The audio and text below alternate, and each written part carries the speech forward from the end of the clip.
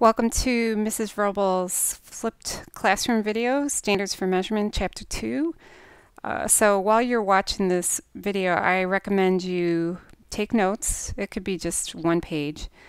Please write down something that may not be listed on the slide. That way I know you've been listening to me.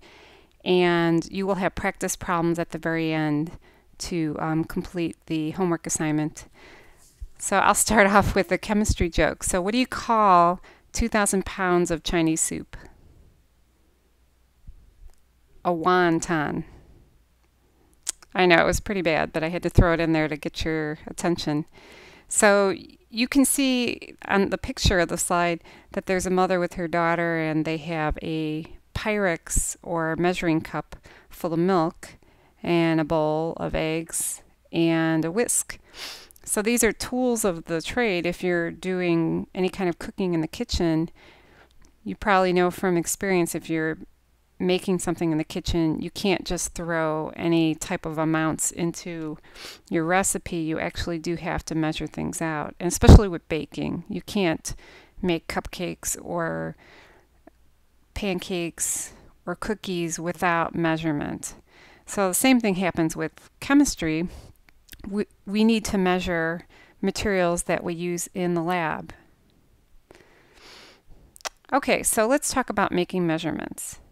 Now, you will notice when you measure the length of an object that it's going to be difficult to get the same exact measurement with four individuals. You'll have slight variation in their results because people estimate things differently. So we need to take that into consideration when we're doing measurements in the lab, and we'll talk about that with the next slide.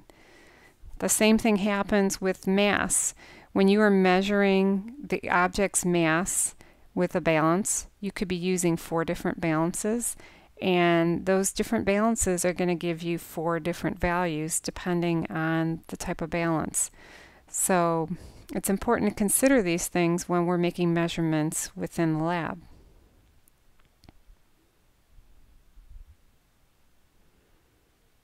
Okay, in order to understand those differences, we need to look at significant figures. You may have heard this before.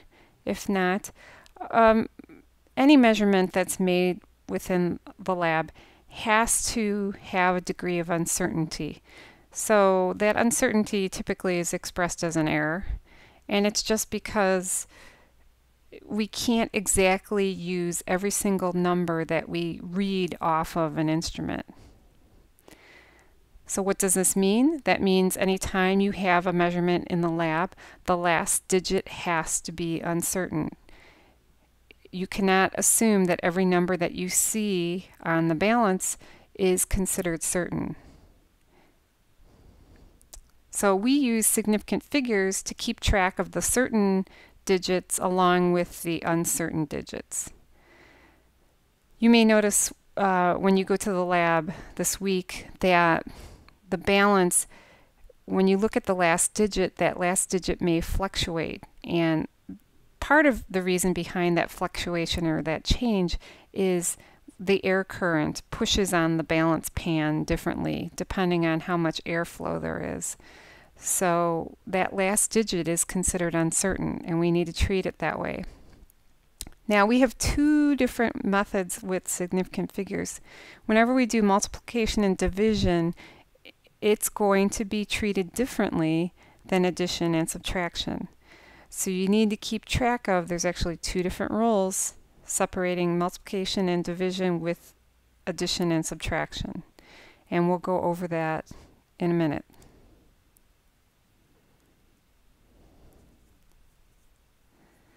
Alrighty, so here we have a thermometer and notice the thermometer, it has a bright colored um, indicator.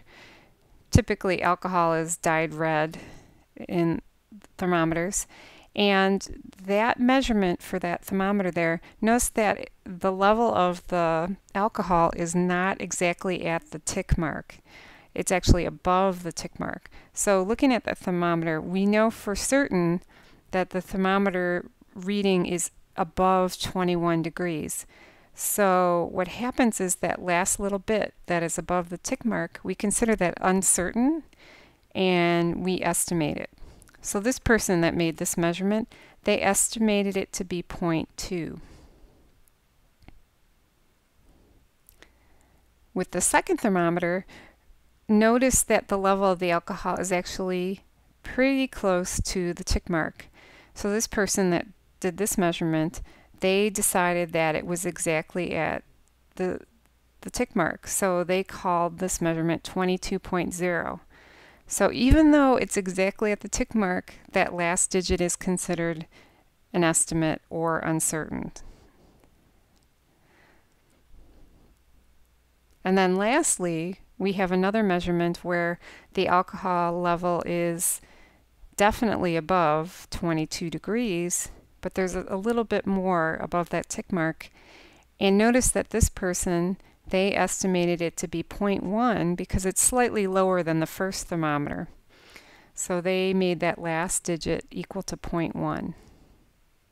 So that digit is considered uncertain and an estimate.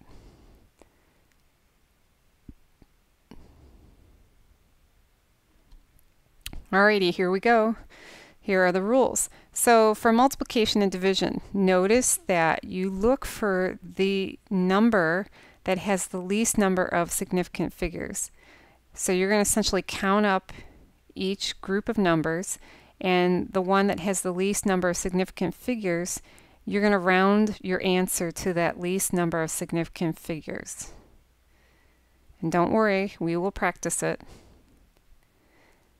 Number two, addition and subtraction. So with addition and subtraction, this is a little bit different. You need to pay attention. Notice that you look for the number of digits that are to the right of the decimal place. So the number that has the least number of decimal places, your answer, the decimal place is going to be equal to that. You're going to round to that number and don't worry, we'll take we'll take some practice problem there for that. Alrighty. Here we go. So here's a piece of flooring. If you have ever laid carpet or tile down before. Well, this is a pretty big piece. This is 10 foot by 12.5. How do we figure out the area? We multiply. So we're going to multiply it. Now notice that there's two different sets of numbers. There is a number that has two significant figures and then there's a number that has three significant figures. So that little dot that's next to 10, that tells us that there's two significant figures. And we'll go into more detail later about that. So when we multiply those two numbers together, we get 125. But guess what? We cannot use that last digit because our rule is we look for the number that has the least number of significant figures. And 10 only has two whereas 12.5 has 3. So what do we do? We have to round. So if we have 125, do we round up or round down? We round up because 5 is um, 5 or more is where we round up. Therefore, the answer has to be 130 because our answer has to be two significant figures that zero is not considered significant. I know it's a little mind bending, but that's how we do it with multiplication. Division would be the same way, the only difference is instead of multiplying, we would divide.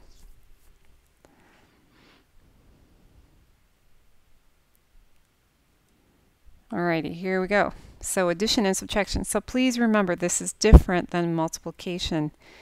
So what you do is typically you look for the number that has the least number of decimal places and that's going to determine your overall answer for addition or subtraction. So if you have two decimal places, you're going to round your answer to two decimal places. And I'll show you an example of this. All right, so we have 132.56 minus 14.1. By the way, notice that these numbers have units. So G stands for grams. Uh, chemistry, we don't have any naked numbers, so you always need to include your units. So the people that are reading your measurements know what you're talking about. So which of those two numbers has the least number of decimal places? Is it the one on the left or the one on the right? Correct, it's the one on the right. Therefore, your answer, okay, your answer has to have only one decimal place. Now, you don't worry about getting rid of the last decimal place until after you do your subtraction. So notice you end up with 118.46, but you can't have two decimal places. You can only have one. So what are you going to do? Are you going to round up or round down? You're going to round up because 6 is greater than 5. Therefore, the answer should be 118.5. Now notice this is different from multiplication and division. Okay, if we were doing multiplication, our answer would be three decimal places. But here are, I'm sorry, not decimal places, would be three significant figures. But notice we have four significant figures here. But with addition and subtraction, instead, we are only looking at decimal places. So our answer must be rounded to the first decimal place.